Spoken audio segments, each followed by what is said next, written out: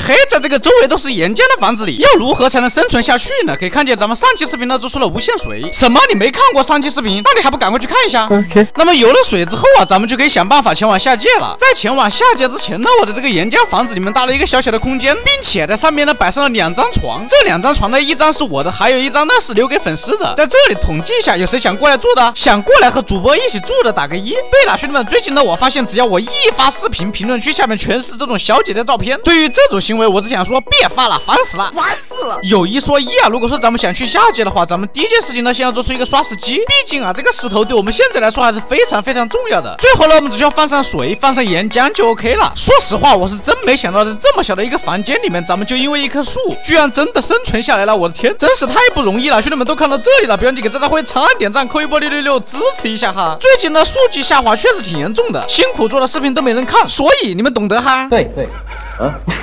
接着呢，咱们花了一点点时间挖了一点石头，然后顺便我也把吃饭的问题解决了。由于我们这里呢有加速火把，所以说呢我们只需要把东西种上去，然后打掉。这个过程呢可能会比较麻烦，但是我们也没办法呀，毕竟这里的空间太小了。等以后把这个空间扩大一点之后啊，我可以考虑做一个全自动的收小麦机器。那么接下来呢，咱们首要的目标是把这个魔杖给做出来。有了这个魔杖之后啊，咱们就能扩充我们的生存范围了。合成方法呢也很简单，只需要烈焰棒和下界石英。为了更直观的体验，我开了一个创造，给大家试验一下这个效效果。我们只需要右击一下就能把这个方块往前推进一格，只要我们的玻璃足够的多，我们就可以利用这个方法呢，把这个房间扩大一点。OK 呀，把这里恢复一下。那么接下来呢，我决定去下界探险一下，看能不能找到这些材料，把这个魔杖给制作出来。然后这个地狱门我也用浇筑法做好了，咱们直接去。刚来到下界呢，我就被这里的黄金给吸引了。我去下界里面居然真的有黄金，原本以为有黄金已经很稀奇了，万万没有想到啊，这里居然连钻石都有。看来这个加了模组的下界跟原版的已经不一样了。这个下界石英呢，咱们也挖一点点。总之啊，这个生存我是越玩越有感觉。等我们把这个岩浆房子的空间扩大一点之后啊，咱们能做的事情就更多了。比如说什么附魔、村民交易什么的都可以来一套，甚至可以弄一些刷经验的装置。这波很快呀，咱们把这个烈焰棒也收集好了，一键合成推拉魔杖。有了这个东西之后啊，咱们现在呢就可以充分的去扩大我们的生存范围了。越是玩这个游戏啊，我越是期待后面的生存是什么样的。真是很久没有玩这种比较有挑战性的生存了。对了，昨天我在直播的时候呢，很多人想要这个整合包。那么在这里呢，统计一下，想要整合包的打个一，不想要打尬。如果想要的比较多了，我会把这个整合包发出来的。OK 呀，一段时间以后啊，这个房间呢已经被我扩充的七七八八了，这个房间的空间呢就会扩大一格。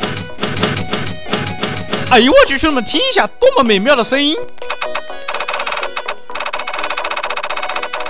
！OK 啊，大家可以看见，现在这个房间明显比之前要大了一大圈。不过啊，我渣渣辉是一个不容易满足的人哈，这么一点点小空间，我怎么可能会满足呢？于是呢，我寻思从这里呢做一个小小的隧道，在这个隧道的尽头呢，咱们再做一个房间。这样的话，这个空间的话勉强够用了吧？那么话不多说，说做咱们就做哈。首先呢，在这里呢摆出一个门的形状，接着把它们像这样延伸出来。最后呢，咱们再用这个可爱的推拉魔杖啊，把它给推进去。这样的话，咱们就开辟出了一个小小的隧道。这个隧道做完之后呢，就是这个样子的。至于这里面的房间呢，咱们有时间再去做吧。OK 啊，咱们本期视频到这里就结束了。下期视频呢会更加的精彩。想提前看到这个生存内容的，可以来我直播间。最后，如果说你喜欢本期视频，不要去评论一个喜欢。话不多说，咱们下期视频见。